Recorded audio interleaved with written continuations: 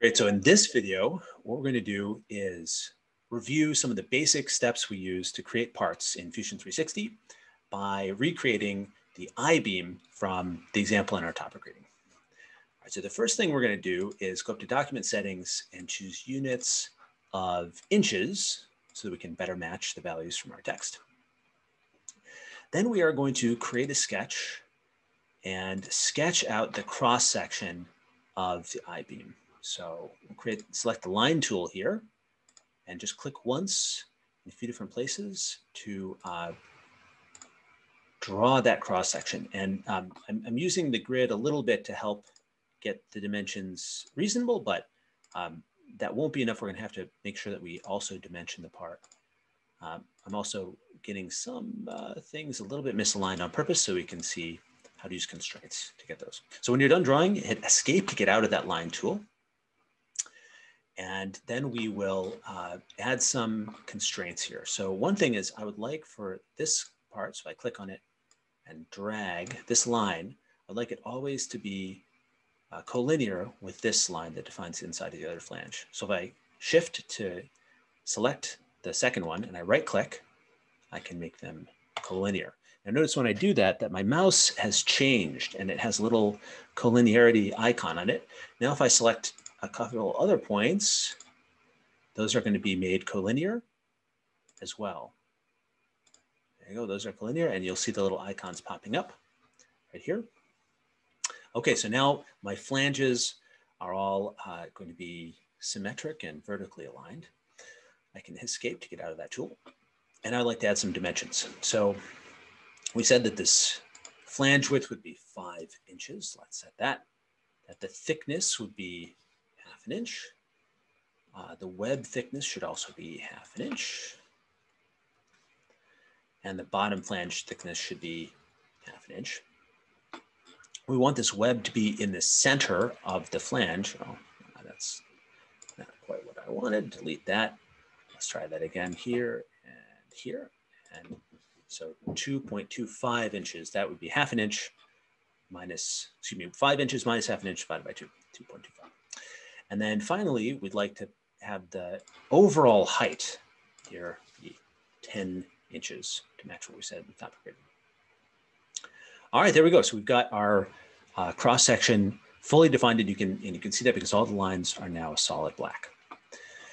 So we'll finish our sketch by checking, checking that green check mark and then we will go to extrude to create a body. And um, we've got, it'll automatically select the profile for us, one-sided extrusion, a distance of 100 inches to match the drawing. And if we go to our home view, you can see now we have the main body of our I-beam. All right, next we'd like to add some holes. Remember there's a bunch of little holes along the top and bottom surfaces. So we're gonna create another sketch going to view the, the top, zoom in here, use the circle tool and create a couple holes by clicking at center and then clicking roughly where we'd like the diameter to end. I will dimension this again and set the diameters to half an inch each. And we didn't say in the reading where these holes were exactly. Uh, so let's just set them to be one inch from either edge, and that'll give us a little bit of a buffer so they're not right on top of any other features, uh, but they're pretty close to the cantilever point on this beam, where we expect the stress to be highest. All right, so we finish our sketch now, and we want to create another extrusion. In this case, we're going to perform a cutting operation. And notice it hasn't automatically selected anything, so we're going to need to select these curves from our previous sketch. We'll click both of them in order to uh, create that create that cut. Uh, the direction, I see this little direction arrow is pointing the opposite of what I'd like. So, and I also I don't want to go distance. I'd like to go through all, please. And I want to flip the direction. Uh, now we're getting the preview of the cut. That's looking a little more like I expect. And say, okay. And you can see we've now got our first set of holes. I'd like to have holes spaced out all the way along the I-beam. So let's use this uh, linear pattern tool up here. And we're going to use uh, features and we'll select the feature we just created. In the direction, uh, we'd like to go along the, the line of that corner of the flange, the I-beam. Uh, now, we'd like to use a, a, spacing distance. So set the distance between each instance of the holes. I want 10 hole, 10, uh, 10 instances and 10 inches apart each. If I say okay, you can see the preview appearing. That looks pretty good. And yeah, this, this looks kind of like what we expect. We've got little holes on the top flange and bottom flange of the I-beam all the way up and down. All right, so the, the last step to match what we have in the topic reading is to create those big holes in the middle. So I'm gonna look at this plane, create a new sketch, and uh, put a big hole there. Dimension it, these are supposed to be about five inches in diameter. And again, we didn't say, but let's make them five inches from each edge of the I-beam so that they're nicely spaced.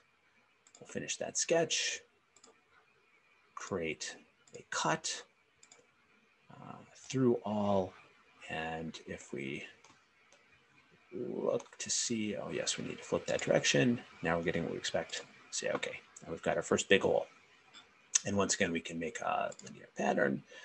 Everything is good. Now features, we'll click here. Uh, spacing, like, oh, the direction is this. 10 of them spaced at 10 inches. And there you go. We have the main features of that I-beam from the topic reading. Now I'm going to add one more thing that comes up commonly in our designs, which is a fillet. Um, so if we come up here to the tools and select a fillet, and then go down and click on each oh, there's uh, another edge there. And ooh, we can click that edge and this edge. We've got four edges selected, 0.25 inch uh, radius. Say okay.